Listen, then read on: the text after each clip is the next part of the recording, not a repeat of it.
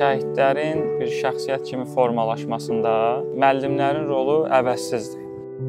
Vətənpərvərlik ruhunun aşılanması, müəyyən tarixi faktların şagirdlərin beyninə yazılması, onların mütəmadi olaraq vətən sevgisi, vətənin daha dərindən tanıdılması, bu vətən eşqinin, vətən məhəbbətinin, vətəndaşlığın, vətəndaşlıq borcunun nə olması bu əsasən məktəbdə müəllimlər tərəfindən əziz şagirdlərimizə aşılanan bir mövzudur.